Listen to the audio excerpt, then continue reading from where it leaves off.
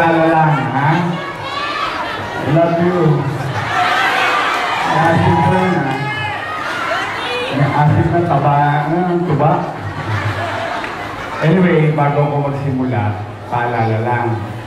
Kabisado nyo naman yung grupo ng Asenso Manileño, di ba? Kami na may sistema. Oh. Kumbaga, huwag kayo mag-alala lahat. Oh. Hindi kailangan magmadali. Hindi kailangan magmadali. Lahat magkakaroon. Yan. Kasi naawa ko sa mga matatanda. Baka madaos-dos. Diba? Ang dala namin, grasya. Hindi disgrasya. Okay? Oh, kaya, hanggang doon sa dulo, sa likod. O lahat na nasa kodli. Oh, galaw-galaw. Baka may stroke, mainit. Oh. Saglit lang to. Wala pa to 20 minutes, tapos na. Oh.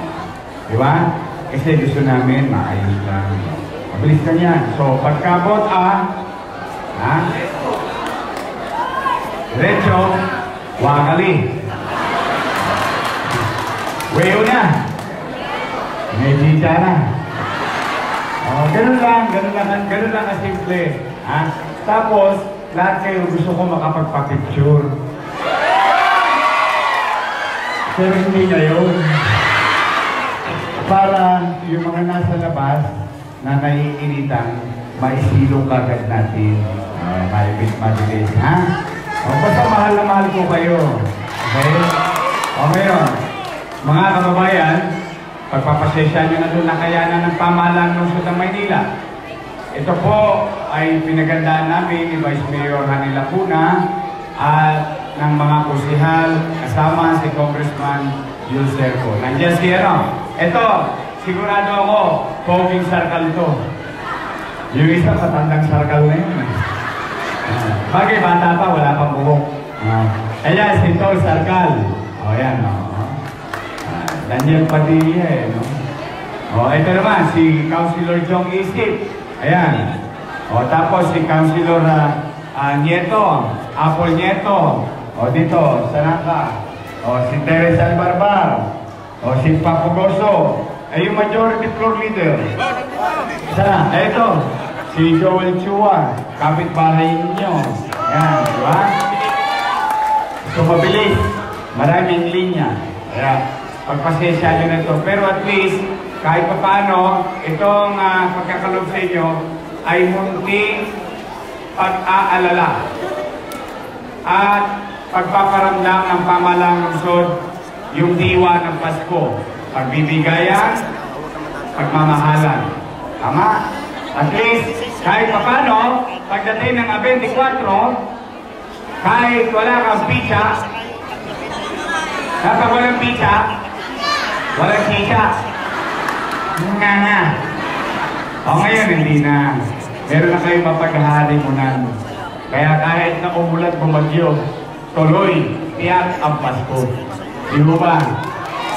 Okay. O ngayon, paalala ko lang, dito kasi nagpunta ko rito dati, may mga sinabi ako nung halalan. Naalala niyo yung kampanya?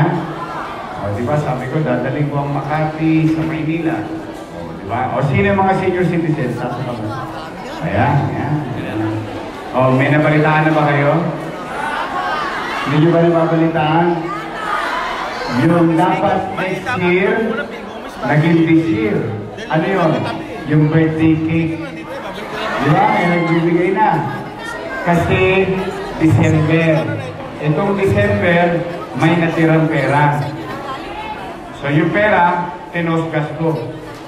Hindi ko tinabi. Bakit? Kaninong pera yon? Sa gobyerno. Kanino galing? Sa tao. Dapat lang ibalik sa tao. Huwag tayong maniniwala na dapat ang gobyerno nagtitipid. Ang gobyerno dapat gumagastos. Hindi tinitipid ang pera ng tao. Yun ang aking paniwala.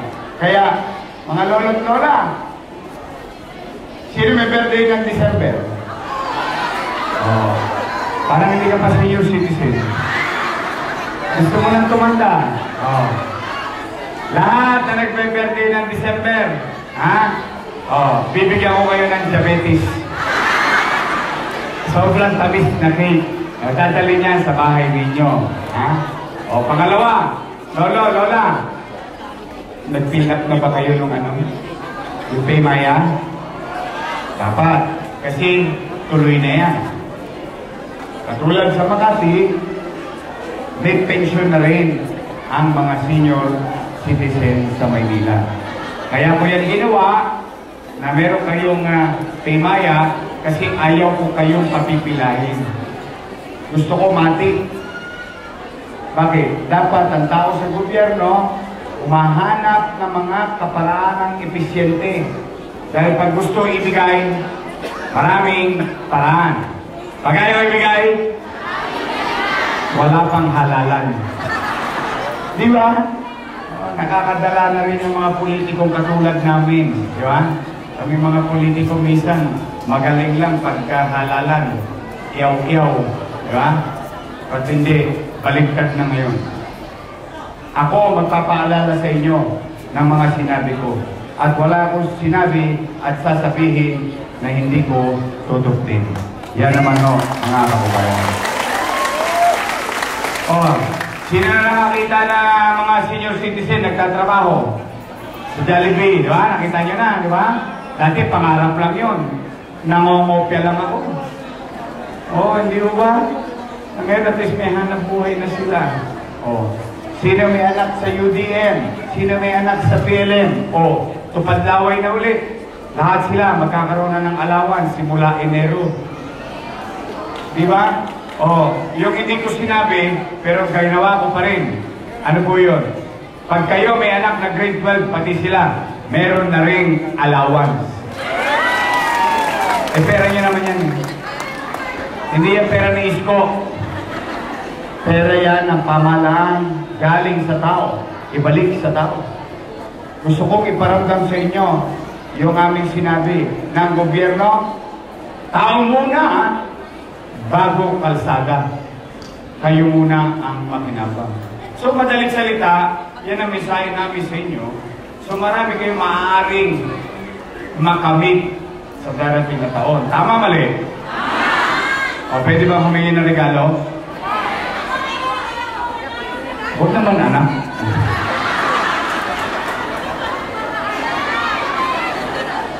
Pwede ba humingi regalo? Sige, dalawa lang. Tatlong anak? Wala na, mahina na tuhod ko. Pang-insahan na lang ko. Hindi na umuulit. Bukas na ulit. Mga kababayan, pwede ba? Maglinis naman kayo ng bahay niyo.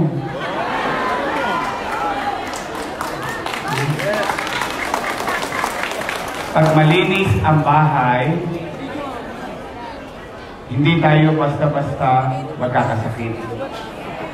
Pag hindi tayo nagkasakit, hindi ako bibili ng paracetamol, ng amoxicillin, ng injection. Ibig sabihin, maraming pera ngayon ang gobyerno. Hindi, ibabalik lang sa tao. Tama mo ba? Pangalawa, pwede, pwede, maglinis kayo bahay? Talaga, ha? O, pangalawa, kung hindi man kalabisan, matapos yung linisin ng bahay nyo, pwede ba linisin nyo rin yung tapat ng bahay nyo? Hmm. Pwede? Hmm. Promise? Yung tapat lang ng bahay mo, huwag mo na pakilaman yung kapitbahay mo, chismosa. Isayin na lang. Oh. Bakit to? Kasi ang pangarap ko sa Maynila, malinis payapa, panatag. Huwag nyo nang gawin para sa akin. Huwag nyo nang gawin para sa inyo. Gawin na lang natin to sama-sama para sa anak natin. Na kahit tayo mahirap, kahit tayo squatter, hindi natin kailangan maging dugyot. Ibinabalik ko lang sa inyo ang dignidad ng pagiging isang mahirap. May dignidad din. Kahit lumaan damit, eh kung bagong laba, edi malinis, tama? Kaya nyo? Kaya! Oo. Gusto kong malinis eh, ang Maynila, pero hindi ko kaya mag-isa. So, Doon ako, nasa ano to, sa 150 to, sa 150. Ah, 150 ah, 150. Diyan lang oh. Lapit lang oh. Hawak ka lang sa bakal. Alam na dis. Oh, gusto mo doon sa double picture. Oh, baka baka kaya po. Ah, anyway, okay yun. Sinawat ako yung mga illegal activities dyan sa University of Recto. Opo, bakit? Akala nyo nag-iimprenta na sila ng resibo ng gobyerno? Eh, ba't ka hindi talaga kakabahan? Nakita nyo yung mga binanggit ko. Halimbawa lang, kwentuhan lang to ah, kwentuhan. Yung mga binanggit ko ba, kailangan ng pera? Yung mga programa binanggit ko, kailangan ng pera? Kailangan. Uy, pagbigay ka ng pensyon, kailangan ko ng pera? Pabili ng gamot? Mga gamit sa ospital? Lahat kailangan ng pera. Ang nakakalungkot, yung mga politikong katulad ko, eh, kami yung mga politiko, wala nang malinisan para walang matamaan, walang ma-open. Kutsuri lang naman to eh. Di ba yung mga politiko na mumorsyento? Tama? Sila ninanakaw buong kaban. Eh, resibo ng gobyerno yun eh. Tama ba? Ngayon, huwag kayong papasok sa ganong negosyo, ganong trabaho. Huwag. Makukulong na kayo. Makukulong kayo. Dahil gusto ko proteksyonan ang interes ng taong bayan. Ang pera ng gobyerno ay buhay ng isang gobyerno para makapaglingkod ng maayos sa kanyang pamayanan. At ang ayaw na ayaw ko sa lahat, squatter ka na nga, pinupugaran ka pa ng kriminal. Hindi ko sila papayagang babuyin ang lugar ninyo. Uubusin ko lahat ng palonggis dito. Sabi mo, mahirap ka na nga. Kapitbahay mo, holdapper pa. Mahirap ka na nga, snatcher pa. Mahirap ka na nga, rapist pa. Di ba? Addict pa. Pusher pa. Di ba? Paano yung anak natin? Di ba? Kaya gusto ko ibalik sa inyo yung dignidad. Yung tunay na pagmamalasakit ng pamahalaan sa mga mahihirap. Hindi yan nakukuha sa salita-salita lang. Basta, may awa Diyos. Sa mga brother Muslim, sister Muslims natin, inshallah. O yan, may awa ang Diyos. May awa ang Diyos. O kayo, mga kapitbahay naming Muslim. O, di ba meron Chinese cemetery? Meron. May Filipino cemetery? Oh, may Muslim cemetery ba? Nang, uh, saan dadalhin yung mga brother and sisters natin na lumipas? Dadali sa Taguig, dadali sa Bulacan, ano yung siya? O iuwi pa sa Mindanao? Tama? Oh, pumanatag kayo. Ginagawa na ngayon. Nagki-clearing na tayo. Magkakaroon na ng Muslim cemetery sa Maynila. Ang hirap niyo pala ilibing. Oo. Kami pwede sunugin. Oo. Pero hindi. Yan, ano ko yan. Pangarap ko yan sa inyo. Bakit? O, tayo mga katoliko. O, ano man ang reliyon natin. O, tayo mga taga Maynila.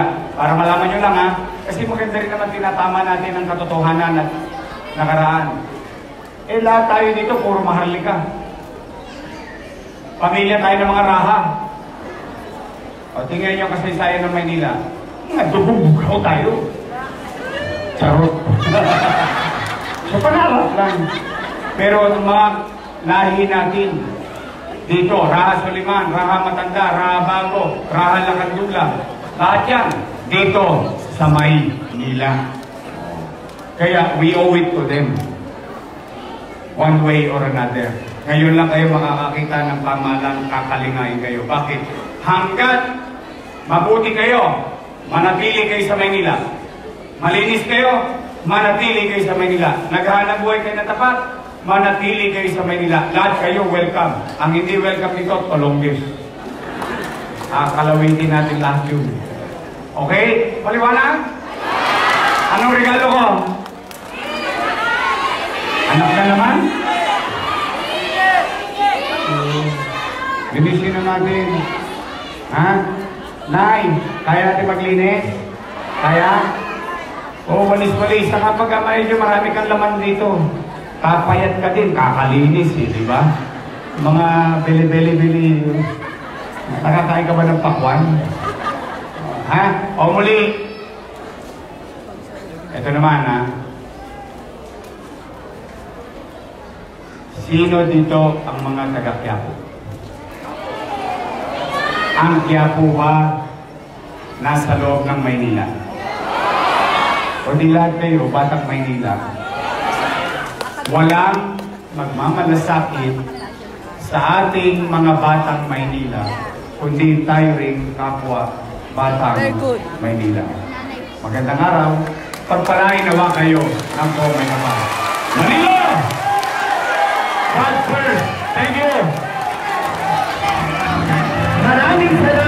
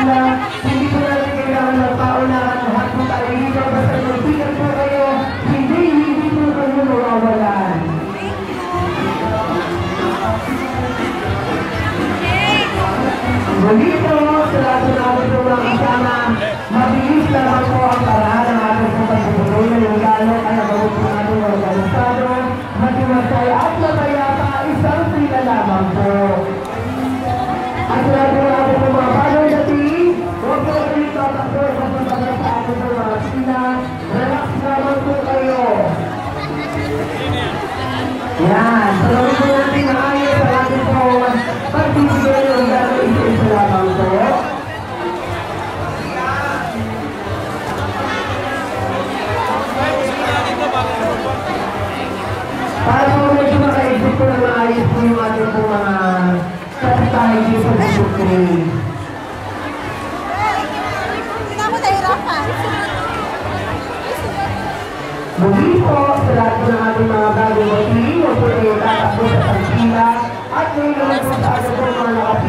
Pag-iusap po, magpapayunan po sa lahat. Magpapayunan si Sita lahat po kayo ay magkakaroon po ng regalo ngayong umahan. Ngayong hapon po dito.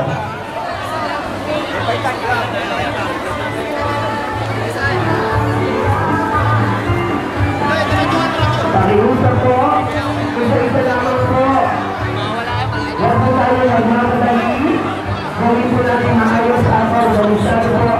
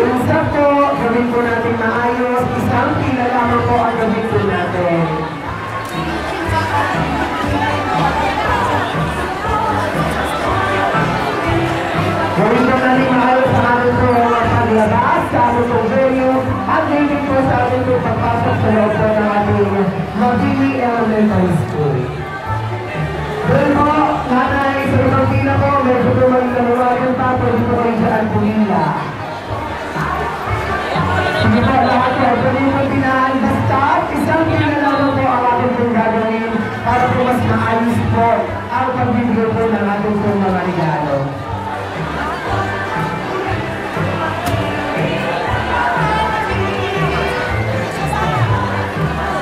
Yan. So, ito natin maayos sa pagdalisado, ang ating paglabas at pagpasok. Sige po, yung po mga nakapila po dito sa medyo harapan ko po, isang pila lang po ang ating po gagawin.